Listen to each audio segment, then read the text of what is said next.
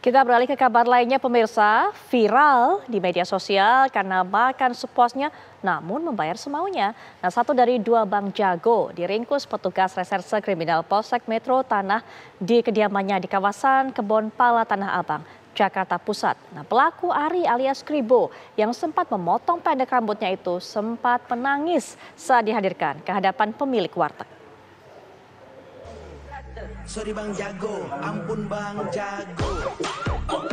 Rekaman CCTV aksi Bang Jago Kribo bersama rekannya makan sepuasnya namun membayar semaunya viral di media sosial.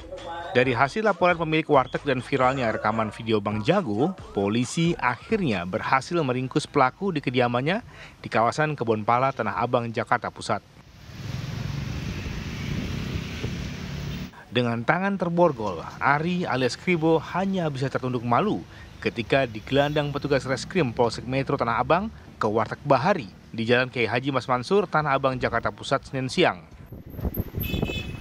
Berdasarkan dari pengakuan keterangan dari pemilik warung, memang sering kali untuk warteg ini karena memang ramai, jadi ada memang beberapa masyarakat atau warga yang eh, makan tidak membayar atau tidak sesuai dengan tagihan.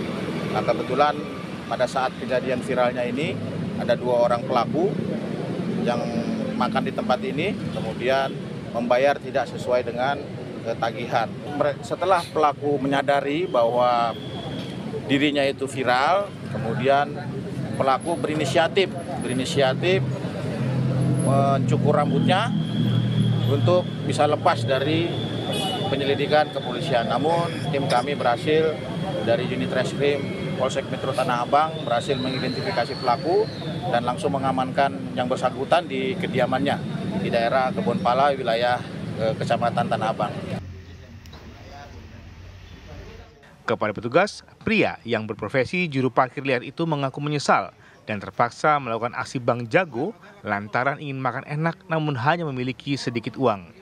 Meski dijerat pasal 335 KUHP tentang perbuatan tidak menyenangkan, namun berkat kesepakatan dengan pemilik warteg, Kribo akhirnya dilepaskan, namun dengan catatan tidak akan lagi mengulangi perbuatan yang sama.